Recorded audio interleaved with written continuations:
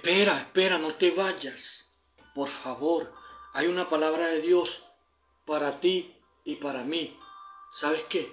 Salmo 61 dice, oye, oh Dios, mi clamor. A mi oración atiende, por favor. Desde el cabo de la tierra, clamé a ti.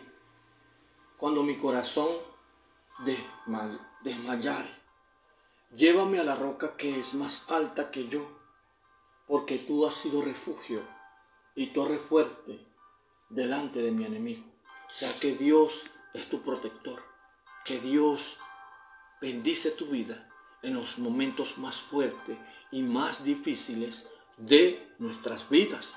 Cuando nosotros clamamos, estamos pidiéndole a Dios su protección y Dios manifiesta su protección en ti y en mí. Él es fiel y justo para manifestar su protección a cada uno de sus hijos. Dios Dios es un Dios que te bendice.